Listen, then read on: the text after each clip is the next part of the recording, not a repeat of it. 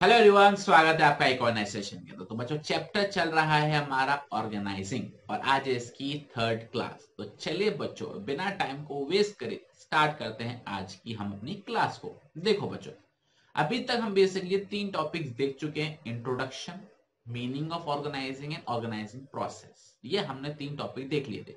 इसके अंदर जो मेन चीज़ आपको याद करने वाला है, वो है मीनिंग ऑफ़ ऑर्गेनाइजिंग और दूसरा हमारा ऑर्गेनाइजिंग प्रोसेस इंट्रोडक्शन वाला पार्ट आपको याद करने की ज़रूरत नहीं है, एक रीडिंग लगा के छोड़ देना। अगर मन करे तो वो भी नहीं करोगे तो भी चलेगा। दो मिनट लगा के रिवाइज करते हैं। अभी तक हमने क्या पढ़ रखा है, उसके बाद करेंगे आज की क्लास को मैं कंटिन्यू देखो बच्चों, सबसे पहले हमने पढ़ा था मीनिंग ऑफ़ ऑर्गेनाइजिंग इसके अंदर हमने दो डेफिनेशन पढ़ी थी ऑर्गेनाइजिंग की, और बहुत ही बेसिक डेफिनेशन है।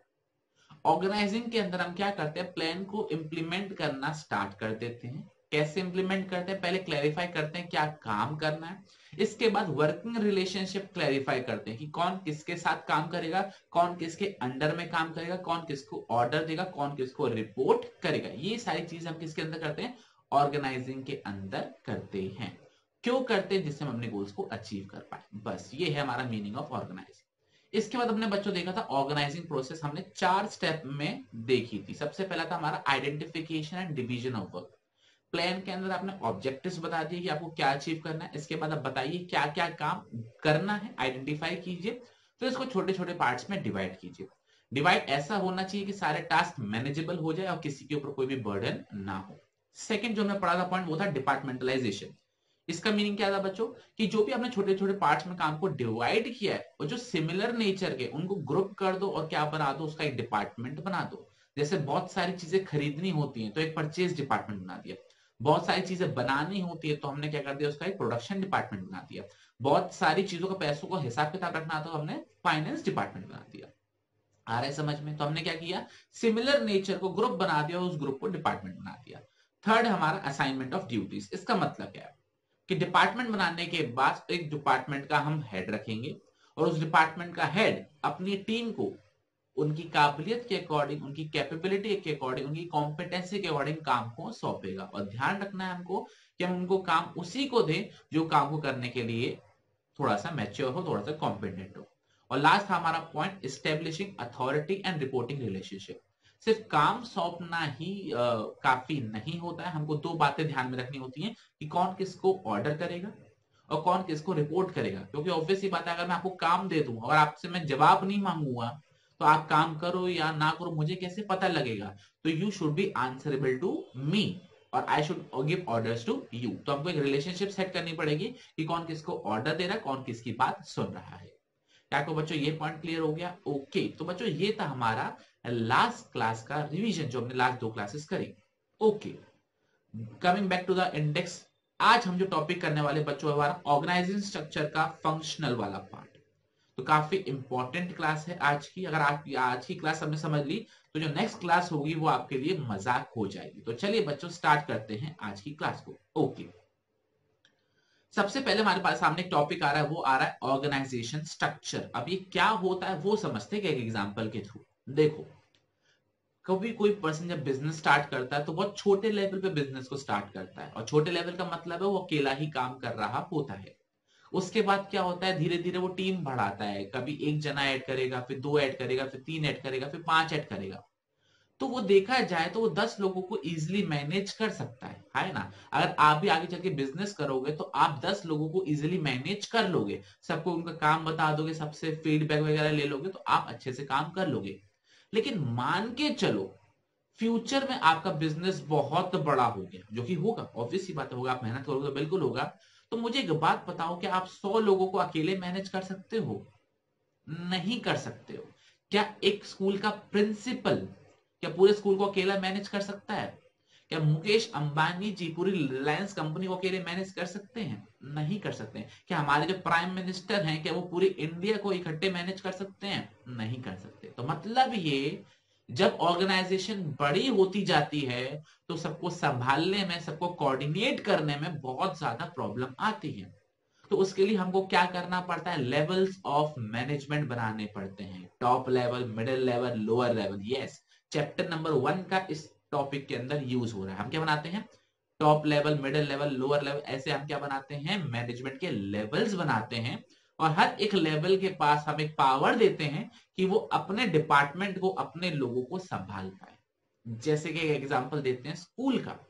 स्कूल के अंदर क्या होता है? सबसे पहले हमारे प्रिंसिपल होते हैं, फिर वाइस प्रिंसिपल होते हैं। वाइस प्रिंसिपल के नीचे आते हैं कोऑर्डिनेटर्स कोऑर्डिनेटर्स के नीचे क्या आते हैं? एचओडीज फिर हमारा अदर स्टाफ आ जाता है। ट्रांसपोर्ट डिपार्टमेंट आ जाता है। हमारा क्लीनिंग डिपार्टमेंट आ जाता है। हमारा ऑफ़िस डिपार्टमेंट आ जाता है। बहुत सारे डिपार्टमेंट आते हैं।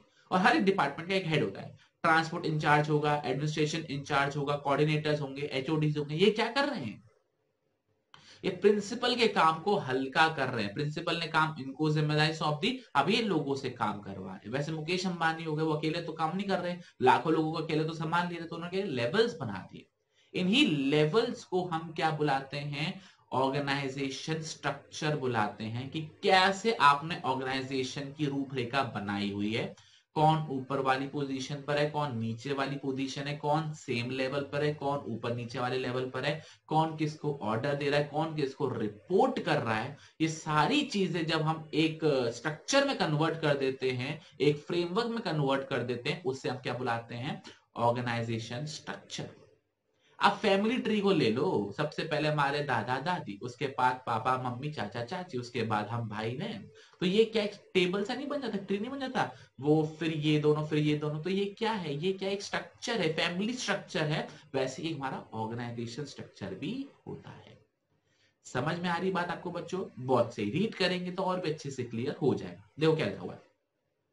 The need for an adequate organization structure is felt by an enterprise whenever it grows in sizes or complexity. आपका बिज़नेस का कॉम्प्लेक्सिटी बढ़ जाती है काम करने की या बड़ा हो जाता है तो आपको चाहिए होता है कि एक अच्छा ऑर्गेनाइजेशन स्ट्रक्चर हमारी ऑर्गेनाइजेशन में होना चाहिए देखो आगे लिखा हुआ है as the organization grow coordination becomes difficult due to emergence of new function increase in structural hierarchies hierarchies मतलब levels of management तो उन्होंने क्या बोला है, जैसे जैसे ऑर्गेनाइजेशन बड़ी होती जाती है कोऑर्डिनेशन करना मुश्किल हो जाता है, क्योंकि बहुत सारे काम होना स्टार्ट हो जाते हैं। अब तो सोशल मीडिया का एक अलग से डिपार्टमेंट बनने लग गया है। और सोशल मीडिया के अंदर आपका फेसबुक का अलग इंस्टाग्राम का अलग ट्विटर का अलग लिंकड का अलग, कैसे कितने सब डिपार्टमेंट्स बन गए हैं। तो काफ़ी ज़्यादा चीज़ें हो रही हैं अलग अलग फ़ंक्शंस हो रहे हैं, और हर एक को कोऑर्डिनेट करना मैनेज करने में दिक्कत हो जाती है। तो इस केस के लिए हमको क्या चाहिए होता है? अगर आप चाहो अगर आप कोशिश करो कि आपका ऑर्गेनाइजेशन स्मूथली काम करे तो आपको क्या करना पड़ेगा? उसके स्ट्रक्चर पर, उसके बनावट पर ध्यान देना पड़ेगा। क्या आपको ये चीज़ क्लियर हो गई? ओके अब आपको अच्छे से समझ में आने लग गया होगा ऑर्गेनाइजेशन स्ट्रक्चर होता क्या है। पीटर ड्रकर मैनेजमेंट गुरु हैं ये पीटर ड्रकर अगर आप इनकी बुक पढ़ पाओ ना कभी पीटर ड्रकर की बहुत मोटी मोटी किताब होती है। असल में ये है हमारे असली मैनेजमेंट गुरु। इतनी मोटी मोटी किताबें मैनेजमेंट के ऊपर वो पढ़ ली तो अच्छा खासा मैनेजमेंट आप सीख जाओगे। तो इन्होंने भी बताया है कि हाँ भाई, एक अच्छे ऑर्गेनाइजेशन स्ट्रक्चर होने की इंपॉर्टेंस क्या है? तो उन्होंने एक डेफिनेशन या डेफिनेशन का एक स्टेटमेंट दे रखा है। क्या दे रखा है? रीड कर लेते हैं। Organization structure is an indispensable mean मतलब इसको हम छोड़ नहीं सकते हैं। और रॉन्ग स्ट्रक्चर आपकी बिज़नेस की परफॉर्मेंस को बहुत ज़्यादा परेशान कर सकता है, बल्कि डिस्ट्रॉय भी कर सकता है। तो उन्होंने बड़ी इंपॉर्टेंट बात बोली, इस चीज़ को आप ध्यान में रखने वाले हैं। सर समझ में आ गया ऑर्गेनाइजेशन स्ट्रक्चर का मतलब क्या? डेफिनेशन भी करा दो तो चलो डेफिनेशन भी कर लेते हैं। डेफिनेशन बड़ी सिंपल सी है। ऑर्गेनाइजेशन स्ट्रक्चर का मतलब क्या है? Define as a framework within which managerial and operating task are perform framework का मतलब होता है वो स्ट्रक्चर किस कौन ऊपर है, कौन नीचे है। फ्रेमवर्क को सिंपल वे में कह सकते हो कि कैसे चीज़ों का अगर हम इकट्ठा रख दें तो किस तरीके से वो दिखाई देगी, उसको हम फ्रेमवर्क बुलाते हैं। It specify the relationship between people work and resources समझ में आने लग गया होगा कि कौन किस किस्म क्या रिलेशन कौन किसका बॉस है, कौन किसका जूनियर कौन किसका साथी है टीममेट है। काम कैसे करना है रिसोर्सेज पावर कितनी है, ये सब किसके अंदर हम देखते हैं ऑर्गेनाइजेशन स्ट्रक्चर के अंदर हम देखते हैं। आगे इन्होंने इसी की बात को एक्सटेंड किया हुआ है। ये कोरिलेट करने में मदद करता है कोऑर्डिनेशन करने में मदद करता है। किसके बीच में? लोगों के बीच में फ़िज़िकल एंड फाइनेंशियल रिसोर्सेज के बीच में। फ़िज़िकल रिसोर्स मतलब मशीन वगैरह और फाइनेंशियल रिसोर्सेज आपको पता है, दाम। तीनों को कोऑर्डिनेट करता है जिससे वो अपने गोल्स को अचीव कर पाए। क्लियर हो गया? ओके यहाँ तक समझ में आ रहा है? बहुत सही। तो ऑर्गेनाइजेशन स्ट्रक्चर का मतलब तो आपको पता लग गया। ये डायग्राम दिख रहा है बच्चों आपको? एक अच्छा सा डायग्राम दिखाता हूँ आपको। ये डायग्राम देखो। सबसे पहले क्या ये हमारे मैनेजिंग डायरेक्टर हैं, जो हमारी कंपनी के हेड हैं, उनके नीचे हमने क्या लिखा डिपार्टमेंट्स बना रखे, और फिर इनके नीचे अपने फर्दर एम्प्लॉयज़ होते हैं। तो ये एक तरीके का क्या है ऑर्गेनाइजेशन स्ट्रक्चर है। क्लियर हो रहा है? ओके बहुत डिटेल में पढ़ेंगे, इस डायग्राम के बारे में डिटेल में पढ़ेंगे, पहले आगे और बढ़ लेते हैं। इसके बाद बच्चों, एक कॉन्सेप्ट आता है, वो आता है हमारा स्पैन ऑफ़ मैनेजमेंट का कॉन्सेप्ट स्पैन ऑफ़ मैनेजमेंट का इंपॉर्टेंट मीनिंग क्या है? स्पैन ऑफ़ मैनेजमेंट का मतलब होता है कि एक मैनेजर कितने एम्प्लॉयज़ को इफेक्टिवली हैंडल कर सकता है? उसको हम क्या बुलाते हैं? स्पैन ऑफ़ मैनेजमेंट क्या लिखा हुआ है? Span of management refers to the number of subordinates that are effectively manage by a superior एक सुपीरियर कितने एम्प्लॉयज़ को इफेक्टिवली मैनेज कर सकता है? उसको हम क्या बुलाते हैं? स्पैन ऑफ़ मैनेजमेंट बुलाते हैं। तो इन्होंने बोला है कि जितना बड़ा स्पैन होगा, जितने ज़्यादा एम्प्लॉयज़ को एक मैनेजर सुपरवाइज कर पाएगा हैंडल कर पाएगा, उतने ही लेवल्स कम होंगे। और जितने कम वो लोगों को हैंडल कर पाएगा, हमको उतने ही लेवल्स बढ़ाने पड़ेंगे। क्योंकि मान के चलो फॉर एग्ज़ाम्पल एक क्लास के अंदर हम तीस बच्चों को ही बिठा सकते हैं, तुम्हारी नंबर ऑफ़ क्लासेस ज़्यादा होंगी। ये चीज़ समझ में आई? अगर हम एक क्लास के अंदर ज़्यादा बच्चों को बिठा सकते हैं तो नंबर ऑफ़ क्लासेस कम होंगी। ये चीज़ क्लियर हो रही है? वैसी ऑर्गेनाइजेशन के अंदर भी होता है कि अगर एक डिपार्टमेंट का हेड 50 लोगों को हैंडल कर सकता है तो हम 50 50 के तीन बना सकते हैं, आराम से। अगर हमारे पास डेढ़ सौ एम्प्लॉई है। लेकिन वो तीस से ज़्यादा हैंडल नहीं कर सकता तो पाँच लेवल पाँच डिपार्टमेंट बनाने पड़ेंगे। तो वो यहाँ पे लिखा हुआ है। तो ध्यान रखना वन मार्क में एक बार एमसीक्यू आया था। Higher the span of management dash the levels of management higher the span of management dash the levels of management तो आपका करना higher the span lower the level lower the span higher the level clear हो गया? Okay okay. आगे उन्होंने थोड़ी सी और तारीफ़ कर रखी है ऑर्गेनाइजेशन स्ट्रक्चर की, वो भी पढ़ लेते हैं। The proper organization structure is essential to ensure smooth flow of communication better control over operation तो एक अच्छा ऑर्गेनाइजेशन स्ट्रक्चर होगा तो आप आराम से कम्युनिकेट कर पाओगे स्केलर चेंज जैसे। और कंट्रोल होगा ऑपरेशन का मतलब ये जो हेड होगा वो आराम से अपने डिपार्टमेंट को हैंडल कर लेगा। ये आपको फ्रेमवर्क बताता है कि किस तरीके से काम करना है, कौन क्या काम करेगा इंटीग्रेटेड यूनिट की तरह, जैसे फाइनेंस डिपार्टमेंट तो फाइनेंस डिपार्टमेंट पूरा एक मिलकर काम करेगा और बाकी डिपार्टमेंट्स और लोगों के संग क्या करेगा कोऑर्डिनेट करके काम करेगा। तो ये सिंपल वे में ऑर्गेनाइजेशन स्ट्रक्चर की तारीफ़ हो रही है। आपको बेसिकली ऑर्गेनाइजेशन स्ट्रक्चर की डेफिनेशन याद रखनी है। इस पर्टिकुलर टॉपिक से वो हमने यहाँ पर देख ली थी। पीटर ड्रकर वाले पॉइंट के नीचे। बच्चा, आपको ये नोट्स कहाँ मिलेंगे? आपको पता होना चाहिए। डिस्क्रिप्शन के अंदर टेलीग्राम चैनल का लिंक है, वहाँ पर आप चाहिए आपको नोट्स मिल जाएँगे। इस चैप्टर के नोट इससे पहले वाले के और इससे आने वाले सबके मिल जाएँगे। क्लियर हो गया? ऑर्गेनाइजेशन की डेफिनेशन ओके अब depending upon the size and nature of the organization हम ऑर्गेनाइजेशन स्ट्रक्चर को दो पार्ट्स में डिवाइड कर सकते हैं। बिल्कुल सही? हम ऑर्गेनाइजेशन स्ट्रक्चर के बहुत सारे तरीके होते हैं। जैसे मान के चलो, एक आपकी ऑर्गेनाइजेशन एक बड़ी ऑर्गेनाइजेशन है, ठीक है? तो आपकी ऑर्गेनाइजेशन में कौन सा स्ट्रक्चर लगेगा? रिलायंस कंपनी की ऑर्गेनाइजेशन में कौन सा स्ट्रक्चर लगेगा? टाटा में कौन सा लगेगा? आपकी बाजू वाली दुकान में कौन सा स्ट्रक्चर लगेगा? ये सब हम किसके अंदर देखते हैं? ऑर्गेनाइजेशन स्ट्रक्चर के टाइप्स में देखते हैं। तो इन्होंने क्या दे रखा है? टाइप्स ऑफ़ ऑर्गेनाइजेशन स्ट्रक्चर और ध्यान रखना, इसके एडवांटेज डिसएडवांटेज बहुत ज़्यादा इंपॉर्टेंट है। एग्ज़ाम में बहुत बार पूछे जा चुके हैं। इस चैप्टर की खास बात बताऊँ क्या? इस चैप्टर से कुछ भी पूछा जा सकता है। बाकी सारे चैप्टर्स से आप इंपॉर्टेंट निकाल सकते हो, लेकिन इस चैप्टर में मेरा एक्सपीरियंस रहा है लास्ट दस साल को पढ़ाने का, और दो साल मैंने पढ़ाई भी करी थी एक्स्ट्रा तो इसके अंदर मैंने ये देखा है कि इस चैप्टर से बेसिकली आप कुछ भी पूछ सकते हो, सब कुछ ही इंपॉर्टेंट है। इसलिए मैं चैप्टर को थोड़ा डिटेल में पढ़ा रहा हूँ। तो देखो, क्या दे रखा है? ऑर्गेनाइजेशन के नेचर के ऊपर वो क्या क्या काम कर रहे हैं, उसके हिसाब से वो ऑर्गेनाइजेशन स्ट्रक्चर को अडॉप्ट करते हैं। हम ऑर्गेनाइजेशन स्ट्रक्चर को दो पार्ट्स में क्लासिफाई कर सकते हैं। एक है फंक्शनल स्ट्रक्चर और दूसरा हमारा डिविजनल स्ट्रक्चर आज हम कौन सा पढ़ने वाले हैं?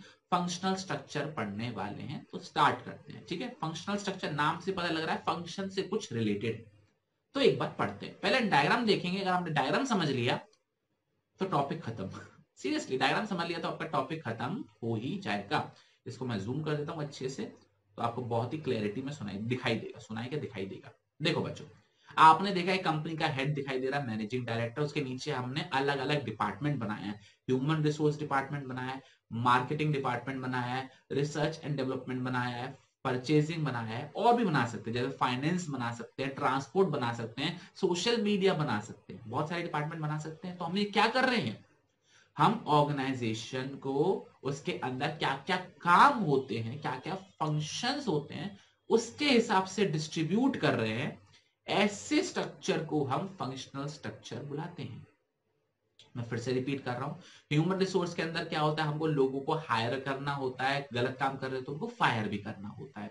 मार्केटिंग के अंदर हम प्रोडक्ट को बेचने की कोशिश करते हैं एडवर्टाइज करने की कोशिश करते हैं। रिसर्च एंड डेवलपमेंट के अंदर हम क्या करते हैं? नई नई रिसर्च करते हैं कि नया क्या नया प्रोडक्ट बना सकते हैं। परचेज डिपार्टमेंट के अंदर हम क्या करते हैं? नए नए परचेज करते हैं अलग अलग कैटेगरी को परचेज करते हैं।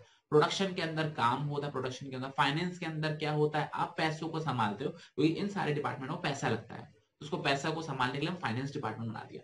तो ऑर्गेनाइजेशन के अंदर बहुत अलग अलग तरीके के काम होते हैं तो सबके हमने अपने सेपरेट सेपरेट डिपार्टमेंट बना दिए। डिपार्टमेंटलाइजेशन याद आ रहा है? ऑर्गेनाइजेशन के अंदर जो सिमिलर काम है, उनका ग्रुप बनाइए और एक डिपार्टमेंट बना दीजिए। तो हमने क्या करा अलग अलग डिपार्टमेंट बना दिए। तो ये अलग अलग डिपार्टमेंट अपने आप में ऑर्गेनाइजेशन के फ़ंक्शन है। कि हमारे ऑर्गेनाइजेशन के अंदर परचेज एक नाम का एक फ़ंक्शन है जो कि हमको करना होता है। फाइनेंस का अपना फ़ंक्शन होता है मार्केटिंग का फ़ंक्शन होता है रिसर्च एंड डेवलपमेंट का होता है ह्यूमन रिसोर्स का होता है। तो हमने पूरे ऑर्गेनाइजेशन को फ़ंक्शन के बेसिस पे डिस्ट्रीब्यूट कर दिया। तो इस स्ट्रक्चर को क्या बुलाया जाता है? फंक्शनल स्ट्रक्चर बुलाया जाता है। अब आपको अच्छे से क्लियर हो गया। डेफिनेशन रीड करेंगे। अब तो और ही इजी हो जाएगा हमारे लिए। एक सेकंड रुकना। ये डेफिनेशन आपकी स्क्रीन पर आ चुकी है। एक बार रीड करते हैं। क्या लिखा हुआ grouping of jobs of similar nature under functional and organizing this major function separate department creates a functional structure वही बात यहाँ पे लिखी हुई है। हम सिमिलर नेचर के जॉब को एक फ़ंक्शन मान लेते हैं और उस फ़ंक्शन को हम एक सेपरेट डिपार्टमेंट बना देते हैं।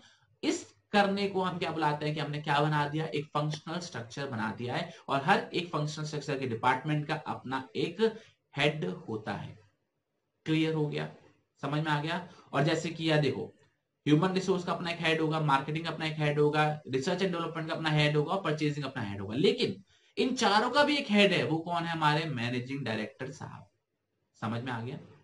क्लियर हो गया? ओके अब देखो बच्चों, यहाँ पर उन्होंने एक एग्ज़ाम्पल दे रखा है वही जो हम पढ़ चुके हैं। एक मैन्युफैक्चरिंग ऑर्गेनाइजेशन के अंदर बहुत सारे फ़ंक्शन हो सकते हैं। वो कौन कौन से हो सकते हैं? प्रोडक्शन करना परचेज करना मार्केटिंग करना फाइनेंस अकाउंट को संभालना और पर्सनल मतलब ह्यूमन रिसोर्स को संभालना। क्लियर हो गया? और फर्दर हम इनको फर्दर सेक्शन में क्लासिफाई कर सकते हैं। मतलब ये ऑर्गेनाइजेशन स्ट्रक्चर एक ऐसा डिज़ाइन है जिसके अंदर हम सिमिलर नेचर के जॉब्स को इकट्ठा एक डिपार्टमेंट बना देते हैं। हो गया क्लियर बच्चों आपको कि हमारा ये फंक्शनल स्ट्रक्चर क्या होता है? बहुत सही। अब इसके एडवांटेज और डिसएडवांटेज पढ़ लेते टॉपिक खत्म हो जाएगा हमारा। देखो बच्चों, हमारे का, हमारे पास इसकी छह एडवांटेजेस है। एक एक करके सारी पढ़ते हैं। तो पहली एडवांटेज क्या है? इसमें हम ऑक्यूपेशनल स्पेशलाइजेशन हासिल कर लेते हैं। क्या लिखा हुआ ऑक्यूपेशनल स्पेशलाइजेशन ऑक्यूपेशन का मतलब होता है काम। तो ऑब्वियस ही बात है फंक्शनल स्ट्रक्चर के अंदर हमने फ़ंक्शन को हमने काम बना दिया, ठीक है? ह्यूमन रिसोर्स तो ह्यूमन रिसोर्स ह्यूमन रिसोर्स के काम को करने में स्पेशलाइज होगा क्योंकि वो पूरे साल, ज़िंदगी भर वही काम करने वाले हैं। फाइनेंस डिपार्टमेंट बनाया तो फाइनेंस डिपार्टमेंट के अंदर फाइनेंस अकाउंट्स रिलेटेड काम होगा तो वो उस काम को करने में स्पेशलाइज हो जाएँगे क्योंकि वो काम वही करेंगे। हम ऑक्यूपेशनल के स्पेशलाइजेशन हो जाएँगे, उस काम करने की स्पेशलाइजेशन हो जाएँगे। क्या लिखा हुआ है? दिस प्रमोट्स एफिशिएंसी एफिशिएंसी होती है। क्यों होती है? क्योंकि एम्प्लॉयज़ सिमिलर टास्क परफॉर्म करते हैं और ऐसे में उनकी जो परफॉर्मेंस होती है, वो इंप्रूव हो जाती है। तो पहला क्या हो जाता है? ऑक्यूपेशनल स्ट्रक्चर ऑक्यूपेशनल स्पेशलाइजेशन होता है, क्योंकि आप सिमिलर टास्क को बार बार करते हो तो आपकी एफिशिएंसी इंप्रूव हो जाती है। सेकेंड आप आराम से कंट्रोल कर पाते हो लोगों को और कोऑर्डिनेशन बिठा पाते हो विद इन द डिपार्टमेंट मतलब है, सारे लोगों को आपके डिपार्टमेंट में जितने भी लोग हैं, आपको इजिली कंट्रोल और कोऑर्डिनेट कर पाते हो। क्यों? क्योंकि वो सारे लोग एक ही काम कर रहे हैं। समझ में आया ना? मान के चलो आप एक अकाउंट्स के हेड हो तो आपके नीचे जो भी टीम है, सारे अकाउंट्स के पर्सनल होंगे, सब अकाउंट्स का काम कर रहे होंगे तो आप हर एक को इजिली कोऑर्डिनेट कर पाओगे, हर एक को इजिली ऑर्डर और कंट्रोल कर पाओगे। क्लियर हो गया? ओके आगे क्या देखा है? Helps in increasing managerial efficiency and operational efficiency similar nature का काम हो रहा है। आप स्पेशलाइज्ड हो गए हो तो ऑब्वियस ये बात है, आपकी जो एफिशिएंसी होगी, काम करने की, करवाने की, काम करने मतलब ऑपरेशनल काम करवाने की मतलब मैनेजर दोनों ही इंक्रीज हो जाएगी। और एफिशिएंसी का मतलब हमको मालूम है, कम टाइम में, कम कॉस्ट में तो ऐसे केस में हमारा जो प्रॉफिट होगा, वो इंक्रीज हो जाएगा। समझ में आ रही चीज़? फोर्थ जो एडवांटेज क्या दे रखी है बच्चों? It leads to minimal duplication of efforts which result in economies of scale and lower cost minimum duplication of effort इसका मतलब क्या होता है? कि हम इजिली कोऑर्डिनेट कर पा रहे हैं इजिली कोऑर्डिनेट कर पा रहे हैं स्पेशलाइजेशन हम कर रहे हैं तो कोई भी काम डुप्लीकेट नहीं होता है। फॉर एग्ज़ाम्पल मेरे डिपार्टमेंट में दस लोग हैं तो मैं दसों को अलग अलग काम सौंपूँगा। मतलब ये अलग हर कोई अलग अलग काम करेगा तो कोई भी डिप्लीकेशन नहीं होगा। प्लस हम बड़े लेवल पे काम कर पाएँगे और जब हम बड़े लेवल पे काम करते हैं तो हमारी जो पर यूनिट कॉस्ट है, वो कम आ जाती है। जैसे फॉर एग्ज़ाम्पल मान के चले, आप एक बड़ी सी मशीन खरीद के लेकर आए, उसमें से आप चार यूनिट बना रहे हो। तो मुझे एक बात बताओ, चार यूनिट कितनी महँगी बनेगी? क्योंकि मशीन बहुत बड़ी, उसको लाने का खर्चा इलेक्ट्रिसिटी का खर्चा रॉ मेटेरियल का खर्चा। लेकिन आप उसी मशीन से दस लाख यूनिट बना रहे हो तो क्या होगा? आपको पर यूनिट सस्ता पड़ेगा। समझ में आ रहा है? तो इसी को बोलते हैं economies of scale and lower cost economies of scale का मतलब होता है जब आप बड़े लेवल पे काम करते हो, बड़े स्केल पे काम करते हो तो आपको पर यूनिट कॉस्ट जो है वो कम आती है। चलो एक एग्ज़ाम्पल देते इकोनॉमीज ऑफ़ स्केल का। मान के चलो आप ट्रांसपोर्ट का काम है बस ड्राइवर हो, ठीक है? आप एक बस ड्राइवर हो। पूरी बस में सिर्फ़ एक इंसान है, ठीक है? जिसको आपको 10 किलोमीटर लेके जाना है। तो मुझे एक बात बताओ दस किलोमीटर में आपको मान के चलो पेट्रोल लग रहा है सौ रुपए का। आप उससे कितनी कॉस्ट लोगे? आप उससे सौ रुपए ले लोगे। लोगे नहीं लोगे? दस किलोमीटर के ज़्यादा क्या लोगे? तो आपको कुछ फ़ायदा हुआ? आपको कुछ फ़ायदा नहीं हुआ। जितना आपने लगाया, उतना ही आपने कमा लिया। लेकिन मान के चलो, उस बस में चालीस लोग हैं। और चालीस लोगों से आपने सौ सौ रुपए ले लिए। तो उससे क्या हुआ? आपने चार हज़ार कमाए, सौ रुपए का पेट्रोल लगा के। तो मतलब जो आपने बड़े लेवल पे काम किया तो आपके खर्चे कम हो गए और आपका प्रॉफिट इंक्रीज हो तो यही बात यहाँ पे लिखी हुई इकोनॉमीज ऑफ़ स्केल का। चारों पॉइंट क्लियर हो गए। पहला ऑक्यूपेशनल स्पेशलाइजेशन क्योंकि आप एक ही काम को बार बार कर रहे हो तो आपकी एफिशिएंसी इंक्रीज हो जाती है। दूसरा कंट्रोल और कोऑर्डिनेट करने में आसानी होती है डिपार्टमेंट के अंदर, क्योंकि सब सिमिलर काम कर रहे होते हैं। तीसरा, आपकी मैनेजीरियल और ऑपरेशनल एफिशिएंसी इंक्रीज होती है तो आपको प्रॉफिट कमा लेते हो। चौथा पॉइंट क्या है? आप डुप्लीकेशन करते नहीं इकोनॉमीज ऑफ़ स्केल का फ़ायदा उठाते हो और कम खर्चे में काम कर लेते हो। क्लियर हो रहा बच्चा आपको? Okay okay. फिफ्थ एडवांटेज क्या दे रखा है? आप अपने एम्प्लॉयज़ को इजिली ट्रेन कर पाते हो, उनको इजिली स्किल दे पाते हो। क्यों दे पाते हो? क्योंकि आपको गिनी चुनी स्किल्स पे इनको काम सिखाना है। मतलब ये एक डिपार्टमेंट अकाउंट डिपार्टमेंट के अंदर मुझे अकाउंट से टैक्स रिलेटेड ही काम संभालना होगा। मुझे मार्केटिंग और सेल्स थोड़ी सिखानी होगी ना। तो मतलब ये एक डिपार्टमेंट के अंदर अपने लोगों को ट्रेन करना थोड़ा इजी हो जाता है, क्योंकि उनको कुछ ही चीज़ें सिखानी होती है, उनको हर एक चीज़ें नहीं सिखानी होती क्या आपको ये पॉइंट क्लियर हो गया? Okay okay. और अगला जो लास्ट एडवांटेज वो क्या है? Different function get due attention मतलब यहाँ पर हर एक फ़ंक्शन की, जैसे मार्केटिंग ह्यूमन रिसोर्स रिसर्च हर एक की अपनी अलग इंपॉर्टेंस है, तुमको हर एक को अलग अटेंशन दी जाती है इंपॉर्टेंस दी जाती है। क्लियर हो गया? बहुत सही। तो बच्चों, ये थी हमारी एडवांटेजेस अब डिसएडवांटेज करेंगे। पाँच मिनट के अंदर ऑफ़िस इस टॉपिक को कंप्लीट करेंगे। पहला डिसएडवांटेज क्या है? It uh, क्या लिखा a functional structure place less emphasis on overall organizational objective than the objective pursued by the functional head मतलब ये अब मान के चलो आप एक फाइनेंस डिपार्टमेंट के हेड हो तो आप अपने डिपार्टमेंट के ऑब्जेक्टिव्स को ज़्यादा इंपॉर्टेंस दोगे तेल लगाने के ऑर्गेनाइजेशन का ऑब्जेक्टिव मतलब ये, मैं अपने डिपार्टमेंट के संग कुछ गड़बड़ी नहीं करूँगा, मैं अपने आप पे कोई आश नहीं आने दूँगा, मेरी मेरा जो इंप्रेशन है वो खराब नहीं होना चाहिए। तो मतलब मैं अपने डिपार्टमेंट के लेके जो भी फैसले हैं, मैं अपने लूँगा। मुझे नहीं मतलब बाकी डिपार्टमेंट क्या सोच रहे ऑर्गेनाइजेशन क्या सोच रही है, मैंने जो सोच लिया वही फाइनल है। तो ये बोला गया उन्होंने इन्होंने बोला कि हम ओवरऑल ऑर्गेनाइजेशन ऑब्जेक्टिव पे कम ध्यान देते हैं, हम अपने फ़ंक्शन के डिपार्टमेंट पे ज़्यादा ध्यान देते हैं। जैसे मान के दो फाइनेंस डिपार्टमेंट का ऑब्वियसली काम क्या है, पैसे को इफेक्टिवली यूज़ करो। लेकिन ऑर्गेनाइजेशन का ऑब्जेक्टिव क्या है? ज़्यादा से ज़्यादा प्रॉफिट कमाओ। तो फ़ंक्शन बोला मुझे नहीं पता प्रॉफिट के बारे में ज़्यादा खर्च नहीं करने वाला, पता चला मेरी नौकरी चल गई। तो वो क्या कर रहा है? वो अपने फ़ंक्शन पे ज़्यादा ध्यान दे रहा है रादर देन ऑर्गेनाइजेशन के फ़ंक्शन पर। समझ में आ गया? इस केस में क्या होता है? फंक्शनल एम्पायर्स बन जाते हैं। मतलब ये कि हर कोई फ़ंक्शन अपने आप में ही बड़ा बनने की कोशिश करता है और वो कहता है कि मैं हूँ बेटा, तभी तुम काम कर पा रहे हो। समझ में आ रही है ये चीज़? तो हर कोई अपने आप को बढ़ाने की कोशिश करता है। क्लियर हो गया? समझ में आ रहा है? क्या लिखा हुआ है? Pursuing pursuing departmental interest at the cost of organization interest can also hinder the interaction between two or more departments. वो लिखा हुआ है। अगर आप अपने डिपार्टमेंट के हित के बारे में सोचोगे तो हो सकता है आपके बाकी डिपार्टमेंट के संग कोऑर्डिनेशन में प्रॉब्लम हो जाए बल्कि कॉन्फ्लिक्ट भी हो जाए। अगला पॉइंट क्या देखा है? It may lead to coordination as information has to be exchange across different departments क्या पॉइंट है? मैं फिर से ये करूँगा। It may lead to problems in coordination as information has to be exchange across differently functional departments मतलब ये मान के चलो हम फाइनेंस डिपार्टमेंट के बंदे और हमने मार्केटिंग डिपार्टमेंट वालों से बोला कि आप मुझे बताओ कि आप कितना खर्चा करने वाले हो, फिर हम उस हिसाब से डिसाइड करेंगे कि आपको पैसा देना है कि नहीं देना है। समझ में आ रही है चीज़? तो मान के चलो उन्होंने तो फटाफट से रिपोर्ट बता दी कि आपको इतना खर्चा देना है। लेकिन फाइनेंस वाला उनको इंफॉर्मेशन प्रोवाइड नहीं कर रहा कि खर्चा कम करो कि ज़्यादा करो।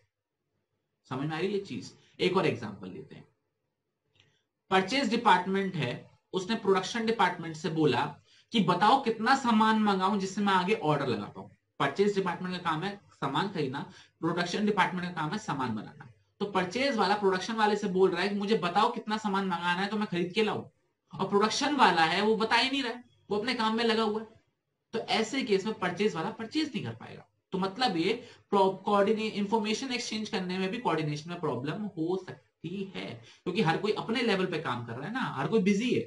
समझ हर किसी टाइम नहीं है तुम्हारे लिए। तो वही चीज़ यहाँ पे लिखी हुई है। जो तीसरी हमारे सामने वो दे रखी है डिसएडवांटेज वो क्या है?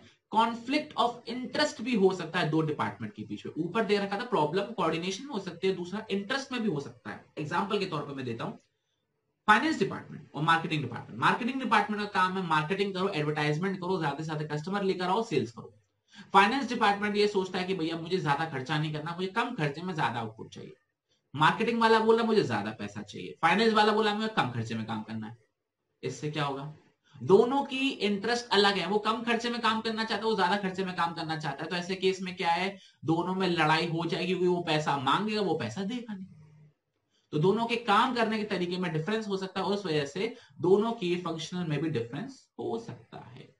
दूसरा इन्होंने दे रखा है कस्टमर को चाहिए। सेल्स डिपार्टमेंट बोल रहा है, इन्होंने जो एग्ज़ाम्पल दे रखा है सेल्स डिपार्टमेंट बोल रहा है कि आप एक ऐसा डिज़ाइन बनाओ जिससे कस्टमर को मज़ा आ जाए। लेकिन जो प्रोडक्शन डिपार्टमेंट है, वो बोल रहा है कि हम बना नहीं पाएँगे। मार्केटिंग डिपार्टमेंट सेल्स डिपार्टमेंट बोला है कि अच्छे फ़ंक्शन डालो, लेकिन प्रोडक्शन वाला बोला, हम नहीं बना पाएँगे। हमको दिक्कत आ रही बनाने में, खर्चा ज़्यादा लग जाएगा। तो ऐसे केस में क्या हो गया यहाँ पे? डिवाइडेशन हो गया कॉन्फ्लिक्ट हो गया। किसका? इंटरेस्ट का, कि मेरा कहना मतलब है, मैं ये कह रहा हूँ, आप ये करो, आप कह रहे वो करो तो इसमें दिक्कत हो सकती है। और आगे क्या दे रखा है? Inter departmental conflict can also arise in the absence of clear separation of responsibility और ये कॉन्फ्लिक्ट कब और हो सकते हैं? जब आपको पता ही नहीं है कि किसका क्या काम करना है, किसकी क्या रिस्पॉन्सिबिलिटी है तो तब ये डिपार्टमेंट कॉन्फ्लिक्ट हो सकते हैं। बस थोड़ा सा और टॉपिक बचा है, फिर यह टॉपिक भी कंप्लीट हो जाएगा। It may lead to inflexibility as people with same skill and knowledge may develop a base from a narrow perspective and thus have difficulty in appreciating others point of मतलब यहाँ पे क्या दे रखा है? आप एक फाइनेंस डिपार्टमेंट के बंदे हो, आपको फाइनेंस की नॉलेज बहुत प्यारी है। लेकिन आप हर चीज़ को सिर्फ़ फाइनेंस के नज़रिए से देखते हो। आप दूसरे नज़रिए से देख ही नहीं पा रहे हो। आप मार्केटिंग के नज़रिए से, आप सेल्स के नज़रिए से, आप ऑर्गेनाइजेशन इंटरेस्ट के नज़रिए से देख ही नहीं पा रहे हो। आप सिर्फ़ फाइनेंस के नज़रिए से देख रहे हो। तो ऐसे केस में आप इनफ्लेक्सिबल हो जाओगे, आप दूसरों की बात नहीं मानोगे, सुनोगे नहीं। तो वही बोला हुआ है कि फंक्शनल हेड को टॉप मैनेजमेंट पोजीशन की ट्रेनिंग नहीं मिल पाती है, क्योंकि उनको अलग अलग एरिया का एक्सपीरियंस नहीं होता है। एक फाइनेंस डिपार्टमेंट को मार्केटिंग का प्रोडक्शन का सेल्स का एचआर का एक्सपीरियंस नहीं होता है। मतलब ये उनको टॉप मैनेजमेंट पोजीशन पर जो कि सबको हैंडल करते हैं उसका एक्सपीरियंस नहीं मिल पाता है तो ऐसे केस में उनका प्रमोशन होने के चांसेस कम हो जाते हैं। वो इनफ्लेक्सिबल है ना वो। वो जानते ही नहीं कि बा, बाकी डिपार्टमेंट किस हिसाब से काम करते हैं। तो भैया जब उनको ये नहीं पता बाकी कैसे काम कर रहे हैं तो उनको हेड कैसे बना सकता हूँ ऑर्गेनाइजेशन का। क्लियर हो रहा है? Okay last topic of this class suitability ये स्ट्रक्चर आई रिपीट ये स्ट्रक्चर कौन सी ऑर्गेनाइजेशन में लगते हैं? फंक्शनल स्ट्रक्चर क्या हम दुकान में लगाएँ? एक सेपरेट ह्यूमन रिसोर्स डिपार्टमेंट बनाएँ या फिर एक फाइनेंस डिपार्टमेंट बनाएँ, एक एचआर डिपार्टमेंट बनाएँ? ऐसा करना चाहिए? नहीं। Depending upon the size of the organization तो अगर आपकी ऑर्गेनाइजेशन का साइज़ लार्ज है, तब आपको फंक्शनल स्ट्रक्चर की ज़रूरत पड़ेगी। दूसरा आपकी ऑर्गेनाइजेशन का स्ट्रक्चर लार्ज है और उसके अंदर अलग अलग एक्टिविटीज़ होती है। जैसे फाइनेंस डिपार्टमेंट का अपना अलग काम होता है एचआर का अपना अलग काम होता है परचेज का अपना अलग काम होता है। तो अलग अलग एक्टिविटीज़ होती हैं, तब आपको ज़रूरत पड़ेगी। और तीसरा, हर एक काम को करने के लिए स्पेशलाइजेशन चाहिए। आप कोई भी किसी से भी वो काम नहीं करवा सकते हो। तो आप एक सेपरेट डिपार्टमेंट बनाओगे, उसको अपना एक हेड बनाओगे। क्लियर हो रहा है? तो बच्चों, ये था हमारा फंक्शनल स्ट्रक्चर आई होप बच्चों आपको अच्छे से क्लियर हो गया होगा। मैंने काफ़ी डिटेल में एक्सप्लेन करने की कोशिश करी है। इस वजह से हमारी क्लास आधे घंटे की हो गई है। ठीक है? तो चलिए बच्चों, आज क्लास को यहीं पे करते हैं समाप्त। आपसे मुलाकात करेंगे नेक्स्ट क्लास के अंदर, जिसके अंदर हम डिविजनल स्ट्रक्चर को स्टार्ट करेंगे। तब तक अपना बहुत ख्याल रखना और इसको रिवाइज करके आना। जय हिंद, जय भारत।